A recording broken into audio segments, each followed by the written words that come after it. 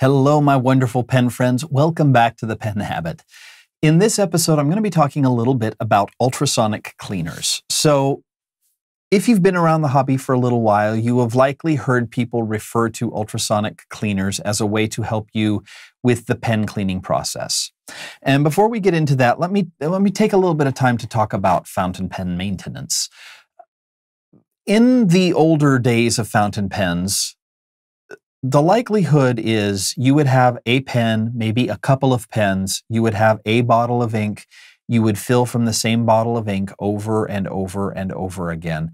It wasn't like today where most most people didn't have a hundred bottles of ink in different colors on the shelves on the walls behind them, and so uh, the the the modern problem of ink switching is one that is fairly recent to the fountain pen hobby. Uh, it's not completely new, but it is fairly recent. And so that has uh, brought about a rise of, of pen maintenance, making sure that you've got your pen clean after you're finished with it.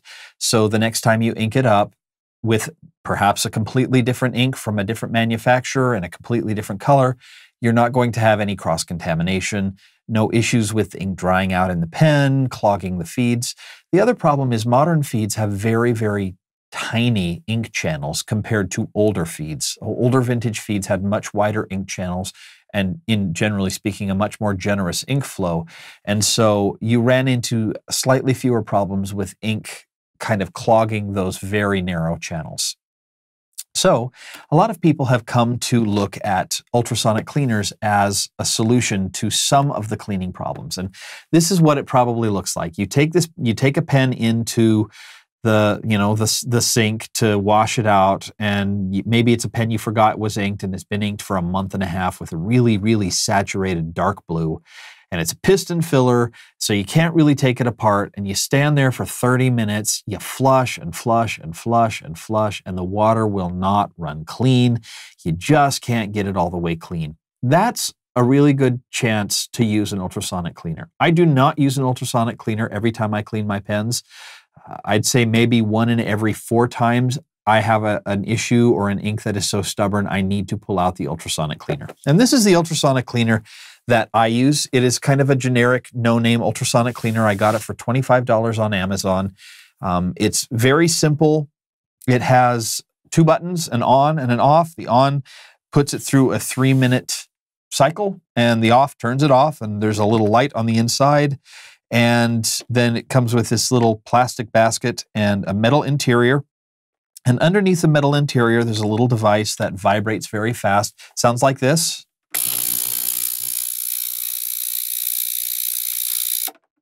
It's it's not a pleasant sound, but uh, but it comes through like that, and uh, and it vibrates whatever's in here very quickly. Now you'll notice I've got this filled with clean water. It's normally what I use when I use my ultrasonic cleaner. You could use dish soap.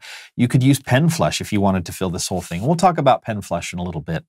So I'm going to go ahead and use this Delta journal. Now it's mostly clean. I cleaned it a while back, but it's maybe not as clean as I would like. So um, what I normally do is I take my pen after I flush the majority of the ink out of it and I keep sucking ink in. You'll notice, oh, I've got a little bit of ink here that seems to come off on the plunger every time I fill this pen up. It's a dark purple ink. So there's something going on in here. So what I will normally do is fill it up with water stick it in here, nib down, so the nib is kind of in contact with the bottom. And I, I don't generally submerge my whole pen. I'll talk a little bit more about that in a moment too. And then I turn it on. And I just let it vibrate. Now you'll notice that the vibrations are causing the ink here to, to kind of swirl and release along the edge. I don't know how well you can see that in the video here, but the ink that was kind of clinging to the side of the converter is now getting dissolved into the water.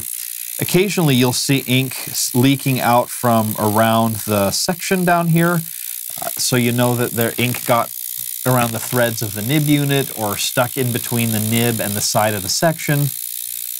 And the vibrations, I'm going to turn this off because it's annoying.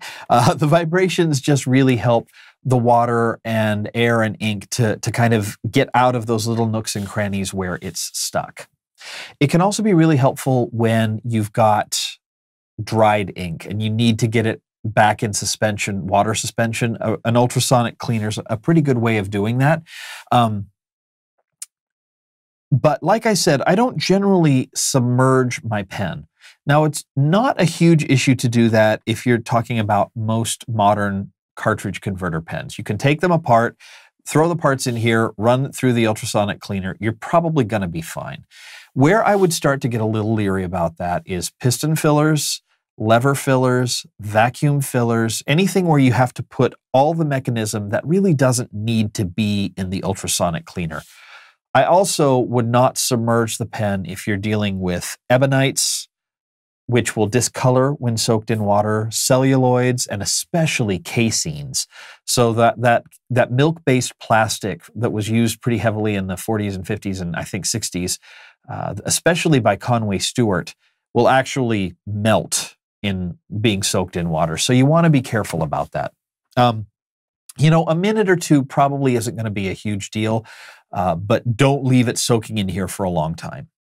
And if you do have to use a vintage pen, maybe take the nib out. Don't submerge the whole pen, only the parts that really, really need it. Sometimes I will need to do, um, where did I put it here? Oh, I left it in the other room. Sometimes the cap will get ink in it. And I find just dropping the cap in the ultrasonic cleaner is a pretty good way to do that. If you get something that's really, really stubborn, I'm going to go ahead and clean this, this water out here. Um, if you get something that's really stubborn, you might want to look at Pen Flush. Now, Pen Flush comes in a variety of flavors. I've got a few here. This is um, the Pen Chalet Pen Flush that I got at the Pelikan Hub. I haven't even opened this bottle yet, so I don't know how well it works, but uh, I got that from the good folks at Pen Chalet. You've got Goulet Pens Flush. There's another pen flush called a JB's Perfect Flush or something like that. And then there is this one that I got from Indy-Pen-Dance. I'm sure you can get it in other places as well, called uh, Rapido-Eze.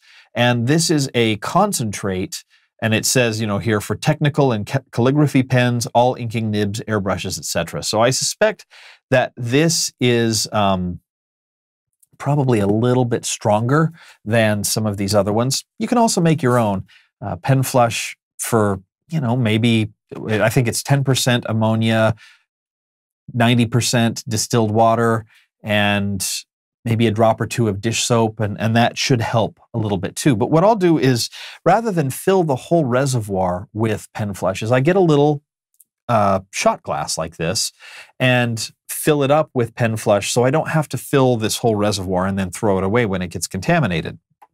And I, I learned that little trick from uh, from the folks at Indy-Pen-Dance when they repaired one of my pens at the DC show in 2016. But I'll I'll fill up my pens so I've got you know, you, you, saw that that purple, and oh my goodness, look at what happened this time. I got a little more purple in here. It's getting better though. It's not as uh, as dark as it was before.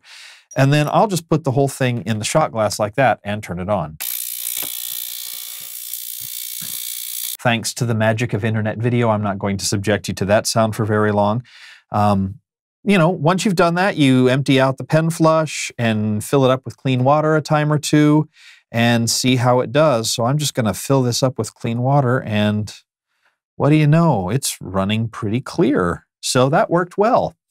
This is a technique I really like to use with my piston fillers or vacuum fillers, not submerging the whole pen, but actually just using this to submerge the nib unit. The reason I like that is a lot of times it, it's very difficult to take those pens apart. And so cleaning them becomes a real hassle. I have a, a very expensive Tebaldi Impero that I had inked with a dark blue ink. And it was a safe ink, but I had forgotten I'd inked the pen because I forgot to write it in my ink journal and put it away in my pen case and left it there for about three months. And so the ink didn't dry, but it thickened up and I had a beast of a time cleaning it out. So I, I, you know, got rid of the old ink, flushed it with water, and I probably twisted that piston for five minutes straight, trying to get the ink clean, and I just couldn't. So I filled it up with a little bit of pen flush in this shot glass, put it in the ultrasonic cleaner, and let it run for a couple minutes. And I had to, I had to repeat that twice. Once I did that, I was able to flush it clean, and I was good to go. So, you know, those really rapid vibrations can potentially be a little bit harmful to really delicate parts of pens, you know, particularly in vintage pens with you've got you know, very fine cap bands or very fine lever fillers, that sort of thing. I've never really had this damage my pens in any way, but I, I suppose it's possible. So you just want to be careful and and use it only when you need it. You don't need to to throw a pen in the ultrasonic cleaner every single time you clean it out.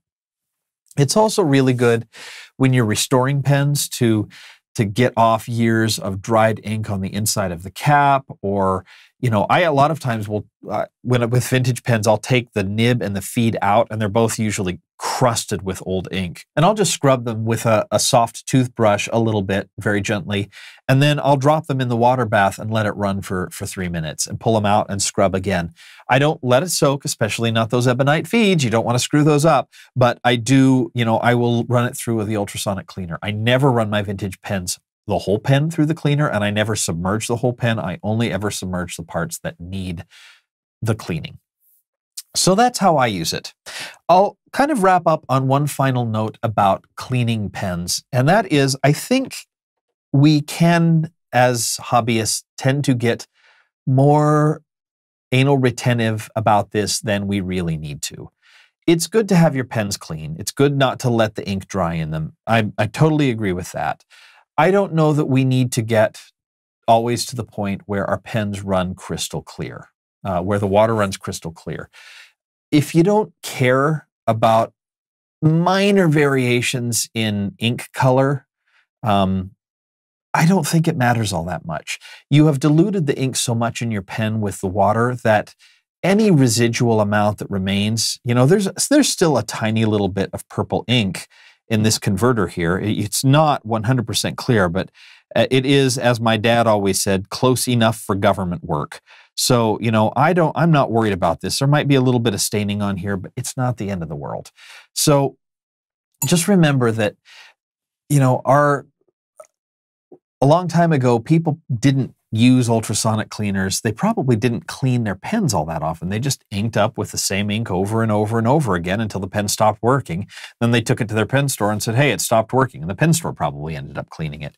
But if you are doing the kind of work or switching between inks that really do are, that really are stubborn, really have a hard time getting out of the pen, then an ultrasonic cleaner can be a really valuable tool in your arsenal. So, hopefully that was helpful for you. If you have any questions or comments, please uh, leave them down in the comment section here on YouTube or over on penhabit.com. I would also love to hear how you use your ultrasonic cleaner if you have one.